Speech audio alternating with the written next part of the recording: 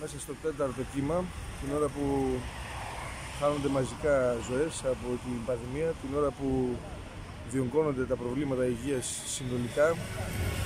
Η κυβέρνηση απαντά με αναστολές, με ελλείψεις σε ΜΕΘ, με καταστολή στην αντίθετη δηλαδή κατεύθυνση από τη λύση του προβλήματος.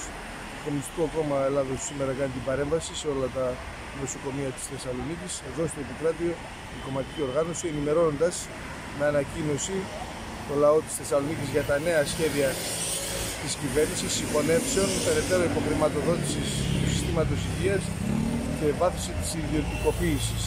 Καλούμε το, τους εργαζόμενους, τα λαϊκά στρώματα να περάσουν οργανωμένα σε μαζι, και μαζικά σε διεκδικήσεις για να γίνει προτεραιότητα η διασφάλιση της υγείας και της ζωής του.